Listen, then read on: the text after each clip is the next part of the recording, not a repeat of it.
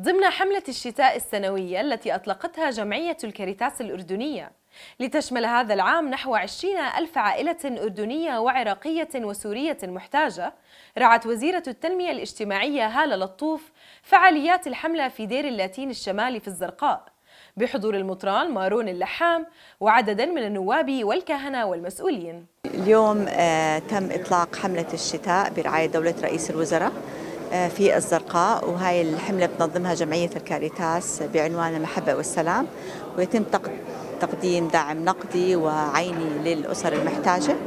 ولاحظنا اليوم أهمية آه عمل الجمعية والفئة الكبيرة اللي بتوصلها.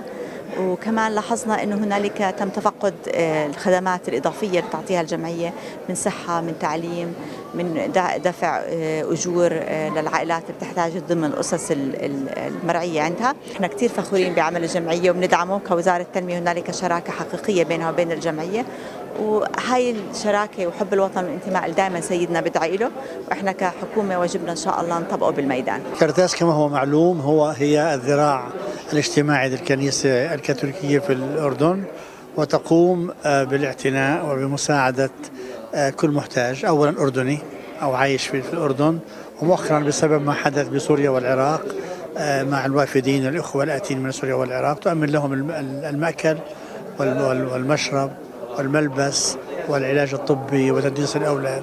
اليوم تم إطلاق حملة محبة وسلام. هي الحملة الشتوية اللي بتطلقها كاريتاس كل سنة. السنة الميزة إنه أخذت رعاية دولة رئيس الوزراء وإجا مندوب عنه معالي وزير التنمية الاجتماعية هالة لطوف. أكيد الكاريتاس معنية بكل المحافظات. السنة هاي أطلقنا الحملة من مدينة الزرقاء محافظة الزرقاء حتى تنتشر لكل محافظات المملكة من هون. الحمل رح تغطي أكثر من 10000 أسرة أردنية. وتقريبا 10000 أسرة بين أسرة عراقية وسورية إن شاء الله.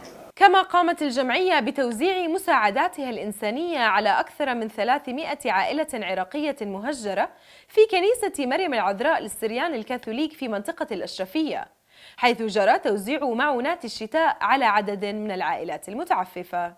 وزعنا تقريبا 300 حصة معونة الشتاء بالتعاون مع الكاريتاس الأردنية ومنظمة الهاشمية الخيرية.